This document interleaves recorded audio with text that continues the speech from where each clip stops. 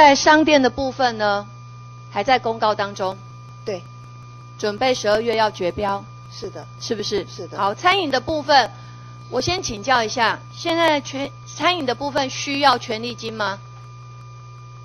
要不要缴权利金？要不要？不要，不用缴嘛，对不对？不用缴嘛，确定不用缴嘛？为什么不用缴？为什么不用缴？不用缴权利金？不是，因为我们，我我可不可以请我们秘书室主任来做回答？你怎么会不清楚呢？因为他其实我们已经编列了，我们已经把所有的点滴盈余全部归好那那我请教一下预算已经压在那院长，你有没有看过你们的预算书？你要报告你的预算，你应该都很清楚你的预算编列吧？是的，是不是？是的，好，在税入的部分有一个部分，故宫院区内的餐饮，BOT 经营权利金、回馈金，这边写的这么清楚。一百零三年，你现在跟我说不用权利金，那这个是写假的喽？那个应该不是全萧何社的权利金，要不然是什么授权金我们故宫精华哦，故宫精华是完 BOT 的全授权金。属于精华的是 BOT。的，是的，你是说第五十页那个是不是？好来，完全属于精华嘛，对不对？是的，好，所以完全属于精华的部分，为什么一百零二年它的金额比现在还高？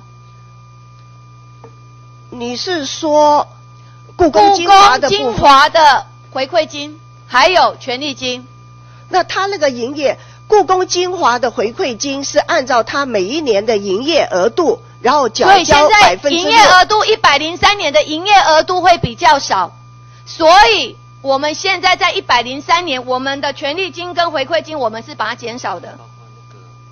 你到底对你们的预算哦有没有认真啊？对不起哦，你说的是五十页那个，还包括了权利呃出版品的权利金，那个是我们有一个出版品的权利金啊。第一项，故宫院区内餐饮故宫精华服务中心 BOT 经营权利金这个部分，你一百零二年度编列一千五百万，然后回馈金三百万，一百零三年却只有编一千两百五十万，回馈金两百五十万，连权利金都可以减少。好，这个减少不打紧，现在连我们委外的部分，委给萧何社的也不用权利金，也不用权利金哦。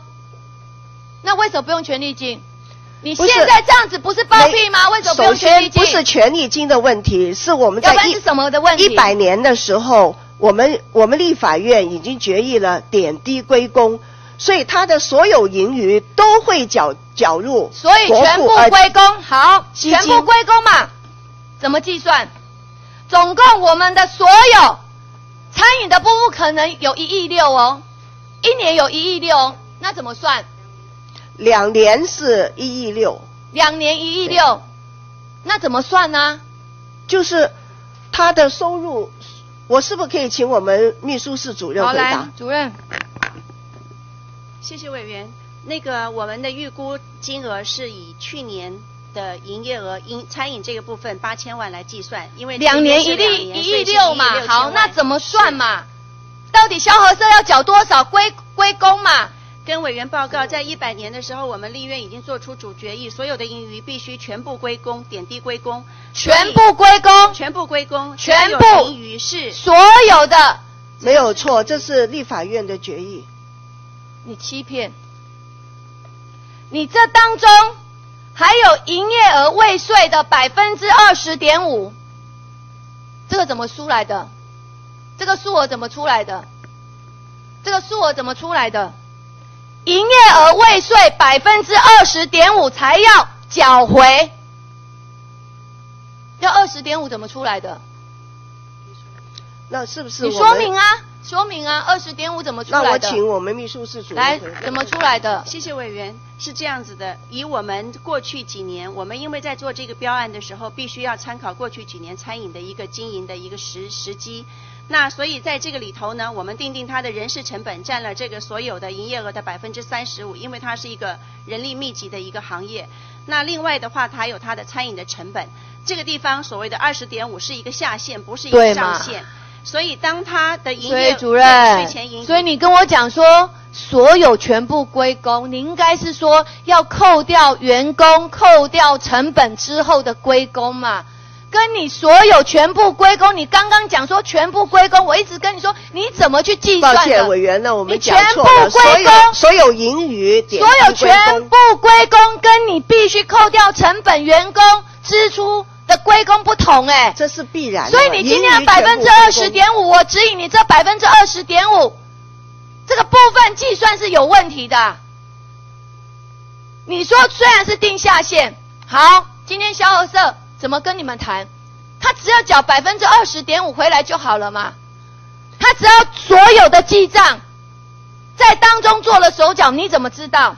还有我们会成立小组还有主任，我再问一下，你刚刚跟我讲说，未来在商品的部分，商品的部分十二月要绝标的部分是七成是国库，三成是萧何社，对不对？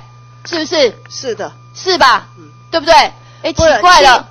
奇怪了，都还没有绝标，怎么会知道是萧何社呢？不是得标的厂商哈，我们其实我们在这个是我们写标案是比照过去，本来过去我们萧何社在卖店的部分，它百分之七十，院长七十管销费用跟人事费只有百分之三。院长在商店的部分也是没有权利金哦，也是没有权利金哦，然后七成是国库。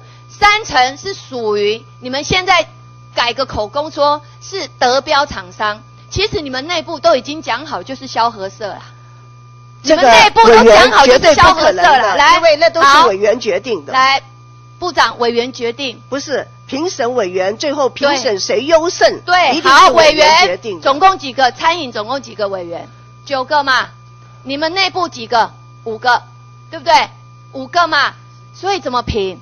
你们内部基本上上面都已经有意思要给萧何社了，在里面的员工敢造次吗？不敢啊。委员，院长，那个餐饮的部分，院长，我只有两家来标。院长，依照有限责任国立故宫博物院员工消费合作社章程第六条的规定。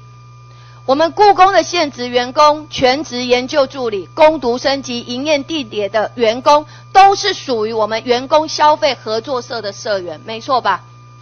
每一个人都是吧？在以前是不是？是的，但是在以前是，现在不是。现在因为新进人员，他们会填自己愿不愿意加入交合社，如果愿意，他就写加入加入。目前嘛，目前是这样做的。目前嘛，之前全部都是嘛。是新进人员嘛？同时，你的委员好，来院长，我问你，你的评审委员有可可能用新进人员吗？哦，不可能，不可能嘛，是的，对不对？所以他们都退色新进人员跟这些委员是不相干的嘛？我现在要问的就是说，现在在第六条规定哦，这些都是社员哦，他们每个人都要认股金哦，都有股金都要认股哦，每一股是十元哦。而且每个人要认购十五股来计算哦，对不对？所以他们是股东，对不对？但是萧和社他们涉及到萧和社的事务人员，通通都退退社了。是不是股东？是不是股东？如果是社员，当然就是股东。是股东嘛，对不对？是。所以这些委员、评审委员也可能是其中的股东嘛，对不对？是的，但是是不是？你只要回答是不是？是嘛，对不对？但是都褪色了，褪色了。什么时候褪色？什么时候褪色？自从我们决定要走招标，这个萧何社要成采购法之后，我们很多涉及的人都褪色了。所以评审委员都叫他先退社，是不是？对不对？评审委员都叫他先褪色。好，来，你帮我调一下，我们这些评审委员，这五位评审委员什么时候退色的？那个我事后提供书面资料好吗？我告诉你，这牵扯掉违反公务员服务法，还有利益回避法哦，他们是违法的哦。如果他们明知他们要委员，而且他们已经有意要给萧何社，而再因为这样而退社，他们是有问题哦，他们是有问题哦，因为在整个过程当中，我念给你听，《公务员服务法》第十三条，公务员不得经营商业或投机事业，对不对？所以他只要是社员或是明知呃故意退社，退社之后来做这样子的参与招标的动作，甚至进入评审的制度，这有问题，这有问题。再来，公职人员利益冲突回避法第六条，公职人员知有利益冲突者，应即自行回避。所以你们早就预设立场要给萧何社了，所以你赶快叫这些。委员赶快退社，这是你们的阴谋啊！再来第七条，公务人员不得假借职务上的权利、机会或方法，图其本人或关系人之利益。关系人哦，他违反第七条，即使他退社之后，关系人都是他所有的同仁、同事，这是关系人。所以，即使他退社，他还是违反公职人员利益回避法的第七条。好，院长，要不要送廉政会查一查？要不要送检调查一查？要不要？我想我们会呃研究这个刚刚委员所要不要啦？不要研究啦。我猜，我认为哈，有没有魄力要把这些所谓的大家认为有黑洞的部分？赶快让大家可以清楚了解，就送检调啊，就送廉政啊，让他们查一查，看这些人是不是因为知道他自己本身已经要变成委员而赶快退社，而为他的关系人去谋取利益，关系人去谋取利益哦。陈所以要不要查？时间到。我我想不是这样。院长要不要查？送检调，送廉政署查一查，你敢不敢宣誓一下？要不要？我违法当然可以啊！我现在已经念了，已经违反了，已经违反公务员服务法，已经违反公职人员利益冲突回避法，这么清楚的，我已经念给你听，要不要送？要不要送？要不然院长我就送你哦。好，陈廷伟委员，你不送他们，我就送你跟这些五个委员，请回座位。院长及各位单位的啊。